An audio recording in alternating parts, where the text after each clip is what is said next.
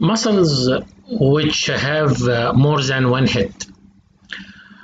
في عندنا muscles يا جماعة بتكون طالعة بكذا head زي مثلا العضلة المشهورة دي اللي في ال front of the arm اللي إحنا عارفينها. طالعة من two bones وليها two ten طالعة ب two tendons ليها two tendons وعشان كده بيتقال ليها two heads head على فكرة يعني ceps ودي لما تبقى ليها two يبقى دي اسمها biceps خدنا في ال terms of number two يبقى bi أو di وتلاتة تبقى tri وأربعة تبقى quadri فلو عندنا muscle طلع ب two heads يبقى biceps طب لو طلع بتلاتة heads بقى دي ال muscle of the back of the arm muscle of the back of the arm ادي ليها head واحد اتنين. ودي كمان الحتة دي في واحدة كمان تالتة. يبقى إحنا كده عندنا تلاتة heads يبقى دي اسمها triceps اللي هي ال muscle of the back of the arm طب بص بقى فاخدك كده اهو محسس على ال front of the thigh ال front of thigh دي ادي head وتحتها كمان في head يبقى اتنين heads الاتنين البيت دول two heads وبعدين عندك head medial وعندك head lateral يبقى دي ليها أربعة heads تبقى اسمها quadriceps muscle بعد ما عرفنا ال muscles اللي ليها كذا head نيجي بقى لل types of muscle action إيه ال type of muscle action في عندنا أي حركة أنت بتحب تعملها؟ purposeful movement حركة أنا عايز أعملها. دي بتتعمل ب muscle واحدة؟ لا دي الحكاية معقدة قوي أكتر مما تتصور. دي بتحتاج muscles كتير groups of muscles عشان تشتغل مع بعض وتشتغل في نفس الوقت وتعمل coordination مع بعض. نبص نلاقي لما هتيجي تعمل أي حركة هتبص تلاقي في عندك أربع مجموعات من ال muscles بيشتغلوا في نفس الوقت.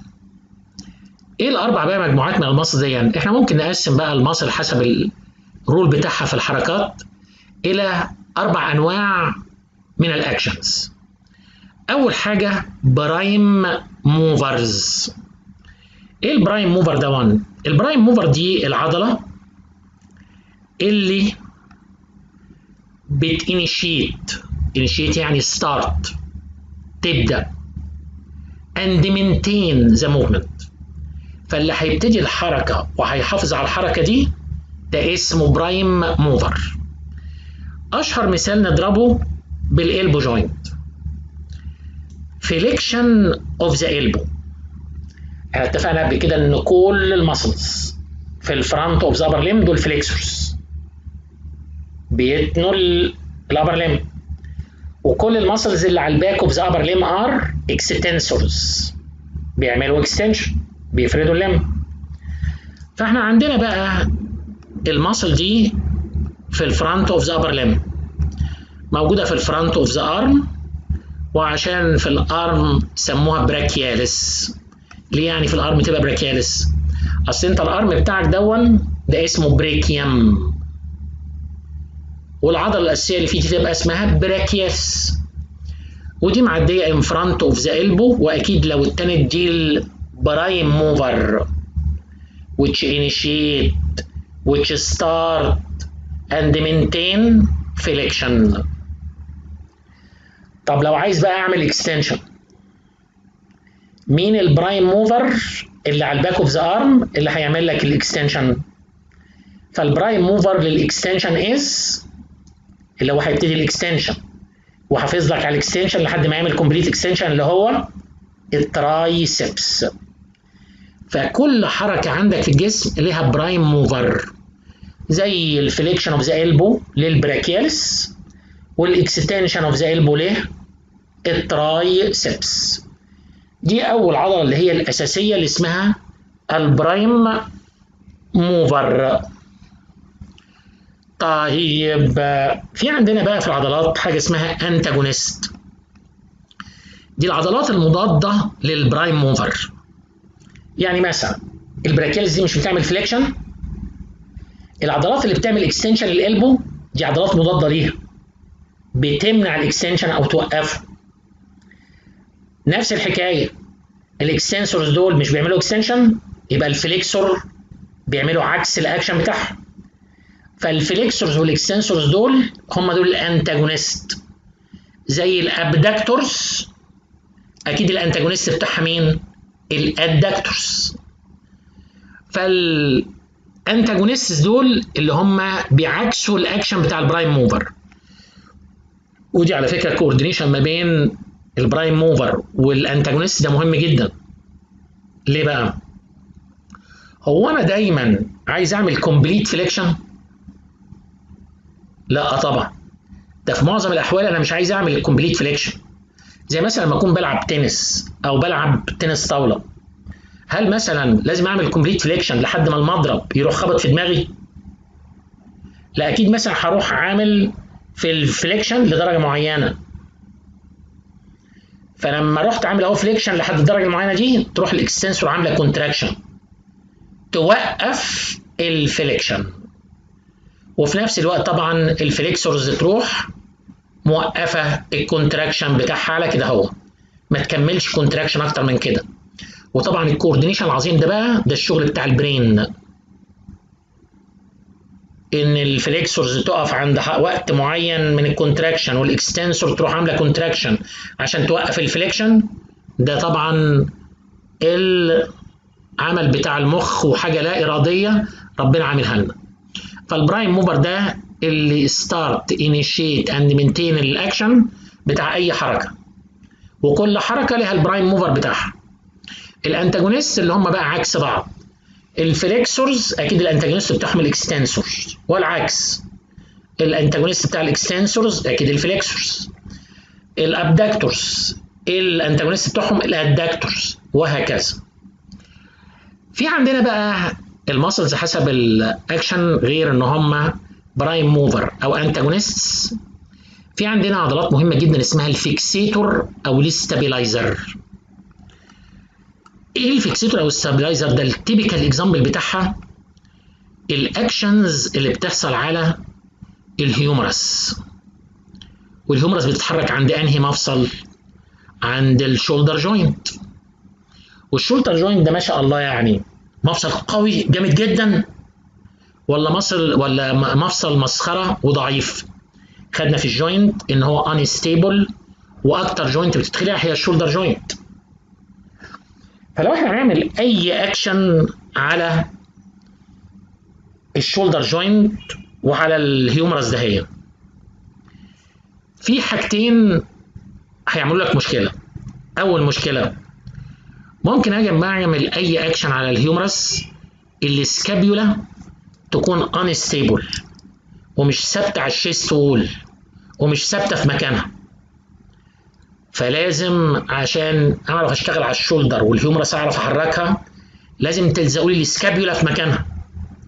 ففعلا نقدر نلزق لك ال scapula دي على ال chest wall ونلزق لك ال scapula دي في مكانها وما تتحركش بال muscles of the back دهي ويتقال ساعتها على ال muscles of the back دي اللي لزقت ال scapula في مكانها fixator أو stabilizer في عندي مشكلة ثانية طب ما أنا ممكن وأنا بعمل أي حركة ال humerus تروح مخلوعة من ال scapula dislocation لا فأنا عندي بقى stabilizer ثانية اللي هي العضلات دي. اللي طالعة من ال scapula و inserted في ال humerus العضلات دي ماسكة الهيومرس وشداها ناحية السكابيولا ومثبتة الهيومرس في السكابيولا ويبقى دول برضو fixator. ويبقى اذا ال fixator أو ال stabilizer دول دول ليهم وظيفتين. Fix the origin of the muscle فهنا هو هتبص مثلا example لو أنا عايز أعمل abduction لل shoulder طب ما اللي هيعمل abduction هو مثلا ال deltoid وعضلات تانية طبعا يعني زي ال supraspinatus وبتاع مش مهم الأسامي دهيا المهم عايزين نعمل abduction فال origin بتاع ال deltoid دون من ال scapula فال scapula دي المفروض ال origin بتاعها يكون ثابت وال insertion في ال humerus يكون متحرك. لو إحنا جينا بقى نعمل contraction لقينا ال scapula دي بتلق كده وميعه وبتلعب على ال chest wall ما ينفعنيش الكلام ده نروح مثبتين بالست إيه بال stabilizers بتوعنا أو ال fixator اللي هي ال muscles of the back ده هي طيب مش لازم نثبت ال joint اللي هي ال shoulder لازم. فيبقى لازم كمان ال fixators دول بيثبتوا ال joint اللي أنا بشتغل عليها عشان ما تتخلعش. ويعملوا stabilization لل joint ويمنعوا ال dislocation. فده المثال الشهير. بتاع ال fixator أو ال stabilizers دول. آه نيجي أخيرا بقى لل helpers اللي بيساعدونا على الشغل. اسمهم synergist. إيه ال muscles بقى ال synergist دول؟ ال muscle وهي بتعمل contraction أعمى كده هون. ده ممكن يكون فيه unwanted movement غصب عني هتحصل. تضعف لي الأكشن اللي أنا عايزه. مثال مثلا ال flexors of the fingers دول طالعين من ال forearm وبيعدوا على ال front of the wrist وبيعدوا على كل ال joints of the hand وال fingers فلو أنا جيت ال muscle دي أعمل لها contraction زي ما اتفقنا إن ال muscle بتأثر على كل المفاصل اللي ما بين ال origin وال insertion فإذا كان ال origin في ال forearm وال insertion في ال fingers بالمنظر ده ال muscle لو عملت contraction هتعمل contraction لكل المفاصل. جربها على نفسك بقى كده اهو. وانت عامل flexion لل wrist ال flexion لل fingers هيكون قوي وجامد. وال hand grip بتاعتك اللي هي ماسكة الإيد قوية زي ما انت عايز ولا ضعيفة؟ على فكرة دي حتى يعني لو واحد كده هو مثلا من أصحابك الجتت كده العيال اللي هم بقى قاعدين في الجيم على طول وأنت طبعا كده ضعيف وبتاع وبتاع كلية الطب ومالكش في ال... في إن أنت تروح جيم وما عندكش وقت وبتاع فراح واحد من العيال الجتت دول جه يغلس عليك وراح ماسك مثلا حاجة كده بتاعتك مثلا سلسلة المفاتيح بتاعتك في إيديه وقال لك لو راجل تاخدها مني. إحنا صحيح ما عندناش عضلات لكن عندنا مخ. أنت عارف تعمل له إيه؟ بصباع واحد. تروح ماسك ال hand بتاعته وتروح عامل flexion لل wrist هتلاقي صوابعه رخرخت وخدت منه سلسلة المفاتيح وقلت له عيب يا ابني إحنا إيه بتوع الطب اللي عندنا المخ مش العضلات. فاحنا عندنا على فكرة لو ال muscles بتاعت ال fingers عملت flexion ال fingers flexion the wrist ال fingers هتبقى ضعيفة مش عارفة تعمل flexion هنا بقى تيجي دور مين؟ ال synergists ال extensors of the wrist تعمل contraction يثبت ال wrist in extension جرب بقى كده هو وانت مثبت ال wrist in extension لو رحت قافل ال hand grip بتاعتك هتبقى قويه جدا زي الواد صاحبك ده اللي كان ماسك اللي بتاع في ايديه وفاكر ان مفيش حد هيعرف يكسبه ماشي فال synergist دول بيعملوا إيه؟ Elimination لل unwanted movements اللي أنا مش عايزها. آه أخيرا بقى يا جماعة آه يا ترى إيه أسباب ال muscle atrophy يعني إيه atrophy يا جماعة؟ ال muscles تخس. إن ال muscle تخس دي قد تكون disuse atrophy لأن في قاعدة يا جماعة بتقول لك العضو الذي لا يستخدم يضمر. وبالتالي واحد ما بيحركش العضلات بتاعته العضلات بتاعته هتخس. أشهر disuse atrophy لو واحد اتكسر واتحط في جبس ما بيحركش ال limb immobilization after fracture اتثبت ال limb بتاعك في جبس بعد ما بتفك الجبس بتبص تلاقي العضلات خاسة قوي بيحتاج علاج طبيعي عشان يرجع العضلات لحجمها الطبيعي. العضلات يا جماعة عشان يكون حجمها طبيعي محتاجة good nerve supply ومحتاجة good arterial supply إيه رأيك لو nerve supply باظ اتضرب ما هو ال nerve supply ده بتيجي منين؟ من ال brain رايح لل spinal cord رايح في الأعصاب رايح للعضلات. فلو ال brain اتضرب زي الجلطات والحاجات دي أو ال spinal cord حصل له injury أو حصل nerve injury اتقطع ال nerve ده كله يخلي العضلات ال denervated دي اللي ملهاش nerve supply بتخس. كذلك ال arterial supply. ال muscle محتاجة غذاء.